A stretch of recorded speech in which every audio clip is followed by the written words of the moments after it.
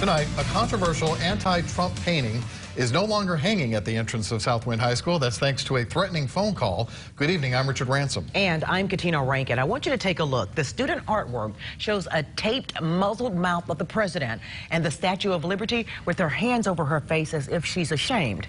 Local 24 News reporter Brad Broders is live at Southwind High School. Okay, Brad, tell us more about this threat. Well, Katina and Richard, an SCS spokesperson, said authorities are investigating that threatening phone call made to Southwind's principal this morning. While the district says it supports the students' right for free speech, critics interpreted that artwork as hate speech. This is completely disgusting.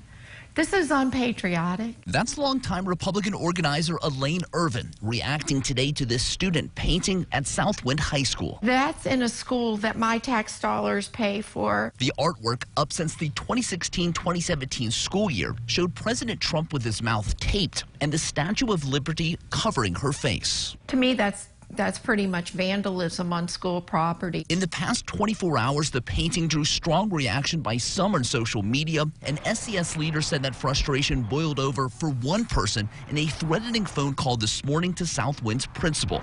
A district spokesperson added, This decision was made in the interest of safety, which is always our top priority. We have reported the threat to the proper authorities, and it is currently under investigation. This is pure hate speech and it should not be allowed. Charlotte Bergman, another prominent Memphis area Republican, saw the student painting last night and supported its removal today.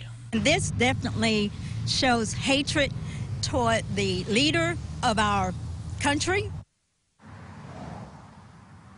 Now, SCS leaders added this afternoon, they encourage students to express themselves through art and in any other peaceful manner. A longtime Memphis, Memphis civil libertarian told me this afternoon that the removal of this painting really shows that the threat of violence is an accepted response for speech someone may not like. Reporting live outside Southwind High School, Brad Broders, Local 24 News.